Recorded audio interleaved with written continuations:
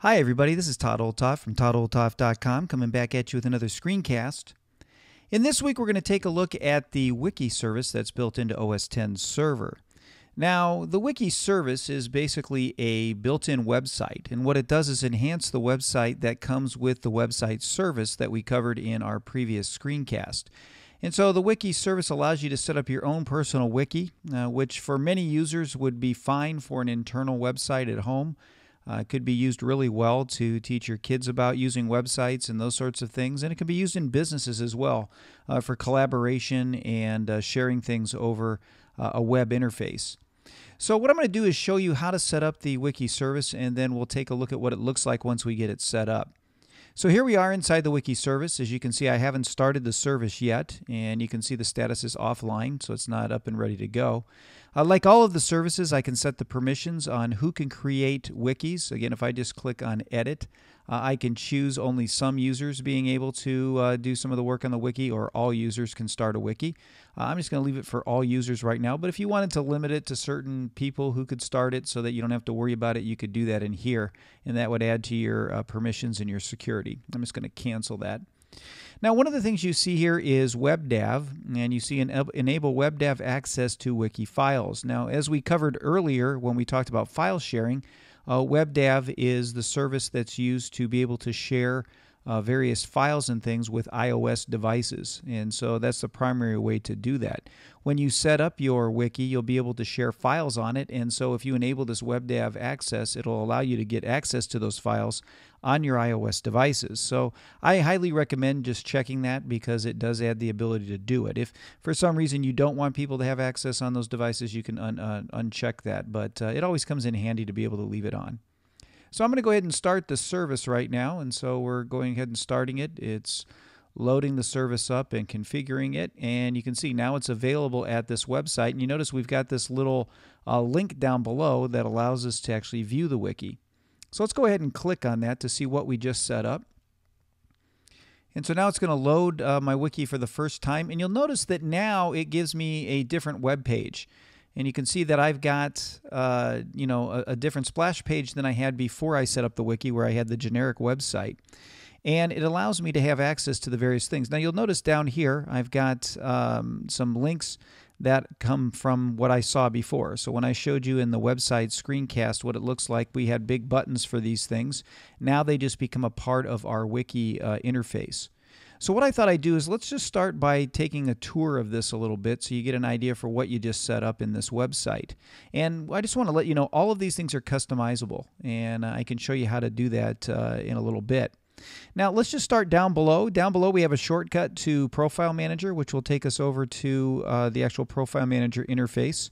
Uh, we have the ability to change uh, passwords here. And if I just uh, click on that, for instance, you can see that changing passwords was turned off. So I've got to turn it on inside uh, the application itself. Let me just go back. Let me just uh, pop this uh, screen down here. Now, in order to allow the change password to happen, you have to go into the website service right here. And then you want to go to the SSL site and just double click on that. And you want to check this allow users to change their passwords option right here. And we're going to say OK and it's going to go ahead and load that and offer that as an option. Okay, so now that that's done, I'm just going to put this back on Wiki. Uh, let me just put the page back up here and we'll reload the page. So we've got that. Now when we say change password, it gives me this change password prompt where I can put my old password and then my new password and do it from there. Uh, I'm not going to do that because everything's okay. I'm just going to go back. Now, the other thing you have is a calendar option right here uh, that you can access. And so this is a web calendar that you can share between your various users. Uh, where it'll get uh, the various events from your server. And so it allows you to have an online calendar uh, that's a shared calendar for those purposes, right? You can see this is a calendar for myself. Uh, I can go in and change some of the settings on it if I want to, just a few little things, add delegates and stuff like that. Um, again, it just allows me to kind of look at, at my, uh, my information here on that calendar. And then down here I can log out or go back to the wiki. I'm just going to hit the back arrow just to go back. All right, so that gives you an idea of these things at the bottom that now show up that you can use with the wiki interface. Now you'll also notice in the middle here I have a My Documents, All Activity, People, and Wikis. And these are all links that I can click uh, here to get where I want to get. Um, but you'll also notice up here, I've got this little hamburger menu up here. And if I just click on that, you'll see that I can also get access to these same things over here on the side and uh, change my password and web calendar. It all comes up in the side menu as well. So I've got the option to use uh, either one depending on how I want to navigate my website. Let me just click off of that. Now, one thing I want to point out is all of this information here is customizable. You can change it if you want to. Uh, for instance, if I just hit this little pencil up here, all of a sudden I get an editing menu bar up here, and you'll notice that now I can highlight text and I can change it.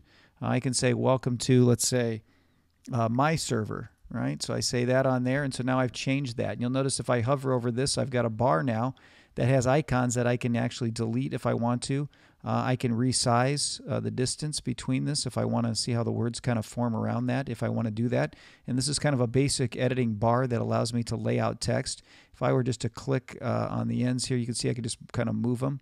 And you can see I can sort, I can sort ascending, descending, column before, delete a column. So again, it works kind of like a spreadsheet. If I click this X, it deletes everything that's in here. And then, of course, all of this text is customizable as well. And you can see up here I've got table settings uh, if I wanted to alternate row colors or show the grid lines if I wanted to, and I could update it. And I'm just going to leave that alone. Um, so I can change the text in here. And you'll notice I've got things like attachments. So I can upload a file if I wanted to upload a file in here to add uh, maybe a graphic. Uh, I could also do some work by adding a new table if I wanted to do that to the page. I could add an HTML snippet if I had an HTML snippet that I wanted to add on there. Um, and then I can do some things with formatting and, and the style options. Uh, just like I would in any text editor. Uh, I can I can link to a new page uh, from one of these things if I wanted to do that, and then I've got all my all my basic text editing stuff in here with lists and all of that. So it does allow me to do some things, and if I just say save, then you notice that now it says welcome to my server instead of welcome to server. Um, so it does give me options to be able to do some edits there. Uh, you'll notice here with the little uh, plus button, if I were to click that, I can do a new page in my documents or upload a file to my documents or do a new wiki if I wanted to start that. And then inside here with this little gear, uh, I can do uh, my user settings. And if I want to, each user can have their own blog if you want them to have that. If you just check this blog button, it's going to add a blog now. And then I can do uh, some basic things with appearance. I can upload icons. I can change the color scheme. If I don't like this sort of light blue, maybe I like a darker blue, I can change that. I can put in my own custom banner. Uh, as long as the height's 124 pixels, and that'll change a banner across the top of my site. And I can change it to a different custom background as well. I'm just going to say save. And so there we go. I've saved it. Now it's going to change the background colors when I go to the pages that I'm going to show you here in a minute. So let's go ahead and go to um, the All Activity page. I'm just going to click on that. And you see now it's a little bit of a darker blue since I changed the color. And you see I've got no activity right now, but I can see everything or unread or my favorites if I were to mark things that way. Um, and get get them uh, from there. Again, if I click the plus, uh, now I've got new blog post in my blog if I wanted to do that or a new wiki. And again, here I've got the same settings that are on this page. Uh, so let's go over here and let's go to uh, my documents for a minute. And you can see here, here are my different documents. Now the page is dark blue across the top up here. And I've got the option of going home. I've got my activity, my documents, my tags, and my blog. Uh, and you can see here that I've got uh, this uh, Todd Olthoff here. And basically what this does is it starts uh, my first documents page here. And so I can use this to edit pages to share information about myself. And if I wanted to, I could even put in tags in here. If I wanted to add a tag, I could say, uh, you know, uh, let's say first post. Let's say I wanted that to be a tag. And so you can see that adds that there. I can always delete it if I want to, or just click that and save it. And so now I've got that tag on there.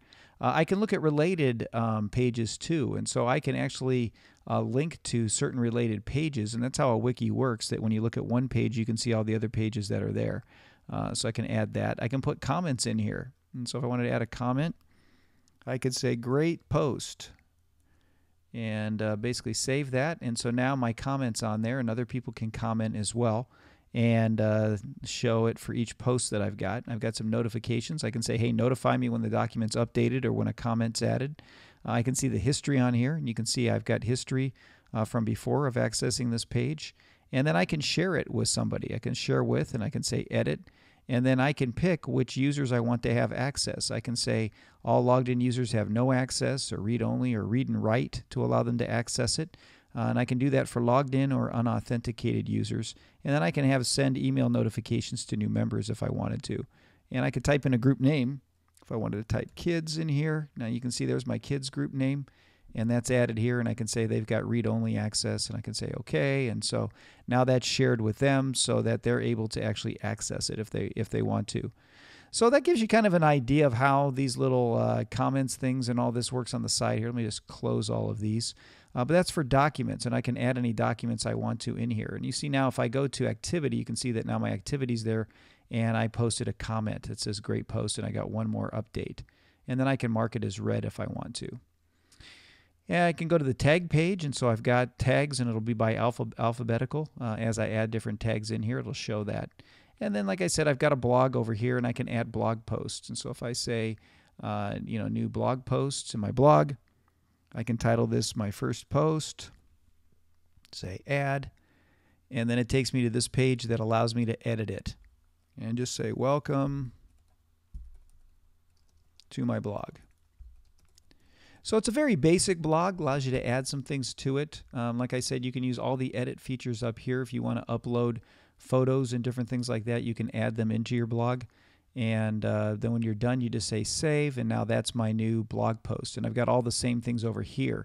Uh, now, if I go back to activity, now I've got two things. There's my blog post, and there's my original uh, document that was added when I started uh, the actual blog.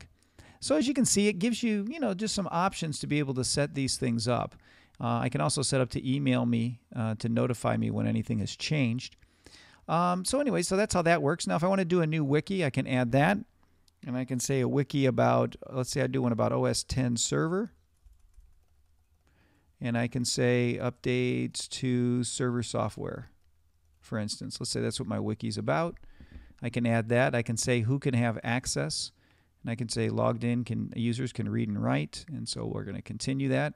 I can choose a different color. Let's say I want this one to be gray. I can even upload an icon. I'm going to say create.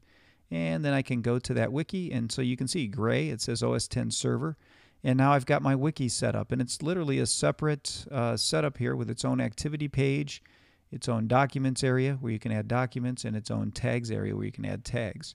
And so it gives me the option now of coming into that information if I want to. And I can go back to the wiki's main area, and this will show all my different wikis. And if I hit the uh, there, you can see it has the description, updates to server software like I typed in. And so I can click off of that. And if I put a favorite there, then it'll also show up in my favorites area and then also shows me deleted ones. So it kind of gives you an idea of how this works. Again, it's not super fancy or anything, but uh, it will allow you to get some things done and actually let you use uh, the website the way that you want to use it. If I uh, just come down here to all people, uh, again, it shows uh, just myself because I'm the only one that's actually uh, done any work with this wiki, but all your other users would show up here as well, and then you could access their blogs and their wikis and whatever other things that you give them access to. So that gives you an idea of how the wiki service works. Like I said, for some of you, this may be uh, the perfect website just to play with at home and to do some things with. Uh, for others, it may be a little too simple. Like I said, you can edit everything in here and uh, have some fun doing that. Uh, but at least that gives you an idea of how the service works. So that's all I have for this week. I'll be back at you next week with another screencast to help you learn how to do more things with your Mac. If you're interested in help in setting up your own server, feel free to contact me at todd at toddolthoff.com.